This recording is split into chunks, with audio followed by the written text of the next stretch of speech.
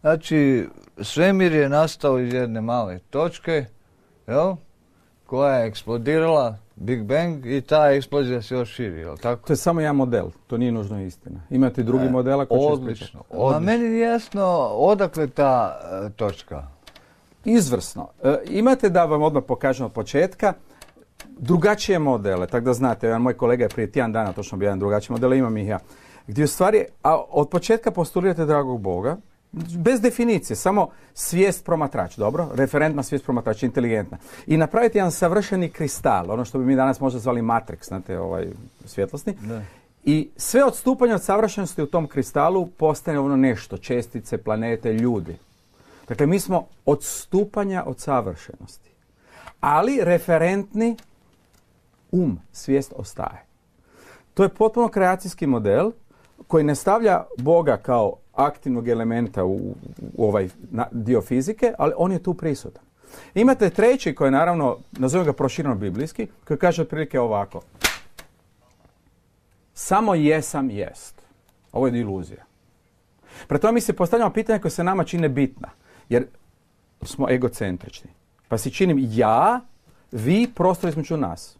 Ali vidite, to je iluzija, jer ja vidim samo ono što mi je dano da vidim, a vidim od 0,4 do 0,7 milikrona. Ja vas ne vidim u, ultravioletnom, kao što vas vide X zrake. Ja vas ne vidim u X zrakama, ja vas ne vidim u infracrvenom. Samo koliko mi je dano. I još ne vidim, ne vidim trenutno, jer vidite, ovo je brzina svjetlosti jedna stopa u nanosekundi. Dakle, ja vas vidim u 5 nanosekundi.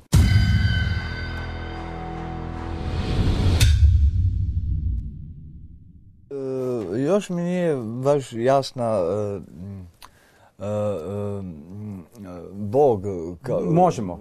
Da li je to energija, da li... Ne, svijest. E, objasnit ću pojednostavno. Pa to i katoličkim svećenicima objašnjam jer on, znate, Da, oni- pa, ne, ne, pa oni naš su- klerikalika, katolicizam Brado, koji mora to. shvatiti, da, o, jako puno ljudi misle da je dragi Bog djedica na oblaku, znate. ne, ne, ne, ba, to je zbog povijest razvoja, ne, to vam ne veze s tim, gledajte.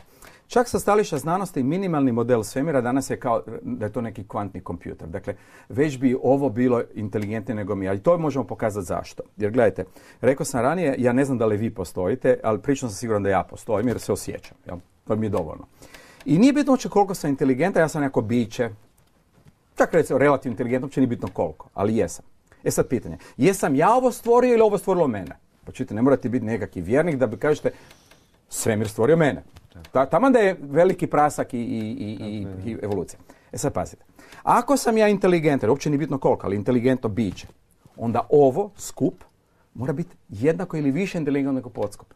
Prema tome svemir ili takozvana kreacija mora biti inteligentniji nego ja. To je sedmi razred osnovne škole, nejednakosti. Jer ne može nešto manje inteligentno provesti nešto veće inteligentno. Dakle, ako su principi bitni, takozvani veliki prasak i evolucija, što je samo jedan drugačiji način kodiranja Boga, prema tome ovi naši takozvani nevjernici vjeruju u drugačiju formu Bože kreacije. Ali ona je već inteligentna. I zato su indijanci u pravu. Znate da indijanac ne ubija bizona bez da se ne ispriča, trebam te za hranu. Indijanac ne reže biljku bez da se njom iskomunicira. Mi smo tu uvijek govorili praznovjere, neznanje. Ne. Biljke su svijest. To danas mogu izmjeriti, mogu vam dokazati. Znate neke životinje. pa- Znate da su dupini fantastični, jel da? To znate jako dobro. E to su vam te ideje i onda konačna ideja, samo da pojasnim radi gledatelja, jer vama će sad sve to leći. Ljude najviše šokira e, ta ideja da dragi Bog vječno jest, ali to nije problem dragog Boga, nego problem u nama. Objasnit ću na ovaj način. Ajdemo opet u tu takozvanu e, blaženstvo, e, dakle nirvanu. U tom stanju vi znate da jeste, ali nema ništa. Dakle, ništa nema, jer ništa se ne dešava. Vi jeste, vi ste u punini, vi ste u ljubavi, vi ste ispunjen beskonačno, takozvana nirvana, blaženstvo. To je stanje Boga u jesam. E sad šta je? Njemu, odnosno njoj, jer to nema smisla razgovoriti muško i žensko, je na neki način dosadno, pod navodnicima. Ne? I eksplodira u kapljice svijesti. Ne? Crno, bijelo, ljubav, mržnja, ovo. I ovo je kao neki multidimenzionalni teatar u kojem mi sve stravično doživljamo grozno, napravili smo i raj, i pakao i sve. U stvari, ništa se ne dešava. Osim jedne pojavnosti koja je vječna. Kreativnost ljubavi u vječnosti svijesti. Ste čuli, dragi gledatelji? Jesam je beskonačna kreativnost ljubavi u beskonačnosti svijesti. Dakle, prije rođenja, nakon rođenja, ta svijest se nastavlja. E sad, kako znam? Jer ja sam Hrvat koji je išao provjeriti i sve religije, naravno se vratio u katolicizam jer Isus Krist je više nego dovoljan. To smo rekli indici, stvarno je. To kad, kad ozbiljno pročitate, vidite da Isus sve znao. On to sve znao. Čak danas da nam dođe, mislim da bi ga razapeli jer smo možda čak i gluplji nego ono doba. Znate, najpoštenije. Da, to sam... I nemojmo miješati nauk Isusa Krista, koji je apsolutno bio genijalac i mi smo svi po tomu da ljevičar se ljudi, a to što nam je crkva anomalna često, nemam niš protiv njih, znate, i tako. To, znate, to je ljudski elementi korporacije, crke, bankaroidi, to ćemo poslije, bankaroidi, ne bankari, pa ste bankaroidi, to vam je sve jasno. I to vam dole ovo da smo stalno u agoniji. Ali kad zrelo razmislite, kad vas prebaci ovo divno stanje svijesti, kad se divno osjećate, a svaki čovjek to ponekad doživi, onda nema depresije, nema niš, ne? Onda vam shvatite, hej, zamislite, pa to je u stvari jedno bečko divno stanje. I naš intelektualac, dr. Slobodan Lang, me pitao ljetos, bile su, bila obljetnica Ruđer Bošković, je pitao mene u Dubrovniku, čuj Davore, ti si vjernik, ali šta bi ti da si sad u raju? Kog bi si pozval? A to je baš ta ideja, jel? Ti bi zvao Newtona, Einsteina, kažem ne. Isusa Krista, zašto? Najviše zna. Htio bi genijalca koji sve to razumije i onda možemo raditi šta hoćete. Ona sloboda koju u obrazovnom sustavu ne dobivamo. Jer obrazovni sustav koji bi vi ja napravili, ako ja nikad o tom nismo u životu razgovarali, danas smo se prvi put sreli, ne? Da, Zamislite, Evo, da vam dam moju skicu, vi recite da sam u krivu. I molim vas, popljujte me totalno. Ja bi dal jednu čistu zemlju s finom vodicom, normalnom papicom, od, znate, ono, friška jaja, zelenjava, kaj nam već tu spada. Deci bi dal užasno puno ljubavi, nek se igraju. Igraju se s pjeskom, s nekim lutkicama i tako. Puno ljubavi, igre, igre. I što više, pazite, što više maženja. Ne, odmah ih ne, ne uopće puni glavu. Čujte, uopće ne puni glavu. Što više, slušajte da još ponovo jer, jer to kompenzira uh, ono prošenje majke.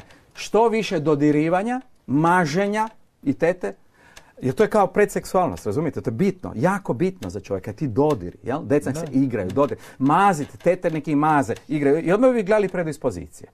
Neki bili više za pjevanje, ne odmah, pustimo ih. Neki, neki bi bili malo više matematički profilirani, neki bi, znate, ali ne silovat.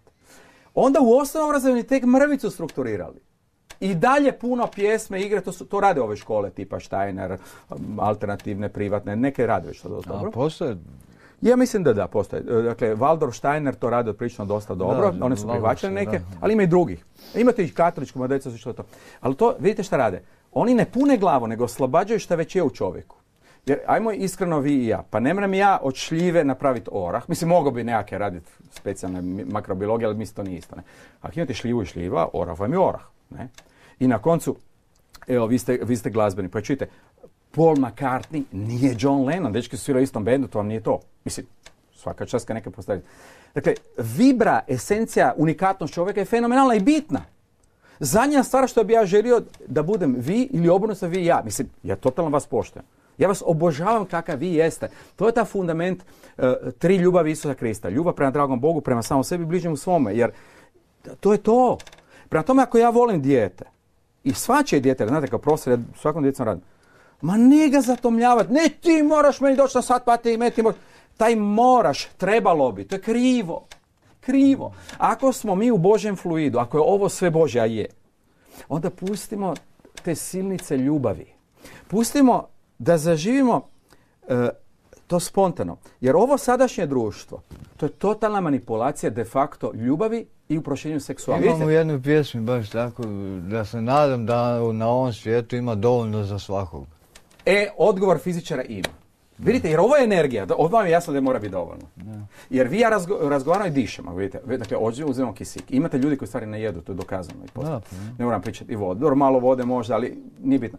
Dakle, vi ste stvarno, vidite, totalno nezavisnom putanjem došli kroz pjesnu i u pravu ste. Nadate se i u pravu ste. To vam kažem sad kao fizičar. To je sto posto sigurno. Međutim, nama je većina civilizacija, pogotovo ove zemlje bila dugo u bolševizmu i, i krivom reducijničkom materializmu, hipnotizirana. Nema dovoljno. Nema dovoljno energije, nema dovoljno novaca, nema dovoljno... Nije istina. To je pitanje preraspodjele. I da vam dokažemo iz fizike, preraspodjele. Dragi Bog je napravio univerzum, ili ako hoćete, priroda napravila samu sebe, Svaki atom, slušajte kako je to pošteno, dobiva jednaku količinu toplinske energije. Dakle, jednu polovicu temperature koja je. Dakle, ako temperatura, ne znam, 300 kelvina u našim jedinicama, znači svaki atomček vam dobi polovicu od toga za ovo ili za ovo gibanje, za ono. I svi dobiju jednako. Svi. To se zove ekvipartice energije. Dakle, u prirodi energija je pošteno raspodijeljena. dakle pravi, istinski, nazovemo ga ovdje uvjetno komunizam prirode, ne ovisi o partiji, o sekretarima, ugrađeno je u zakon. Prema tome, kad bi mi harmonizirali, vi i ja, još bi se dogovorili više. Nadam se da mi nećete proturječiti, baš da vidim, ne znam što ćete reći. Ja bi čak uveo namjerno žene. Dakle, ja smatram da su žene majke bitne. Ja poštujem da muškarci pomažu, daleko od toga. Ali mislim da ima nekakva posebna magija u ženi. Žena je drugačije biće. Slažem se. I komunikacijski je drugačija. I znate, mislim da je san, da vidimo i ovo, mislim da je san muškarca neko uvijek ponovo se naći u majčinoj utrobi, tak da kažem. Znate. To nije Freud Jung, to je malo dalje zbog čega. Znam, dobro. Vjerojatno ima poveznice, to vjerojatno da je bolje nego ja. Ali mi se čini zbog čega, jer znate kad se divno njega osjećam, onda, mi, onda zamijenim, ovo mi je sve majčina utroba. To je onaj koncert kad smo rekli, vi ste u punom bumu na koncertu, cijela dvorana plješće s vama, vi ste svi jedno, vi, vi svirate, pjevate i curi iz vas.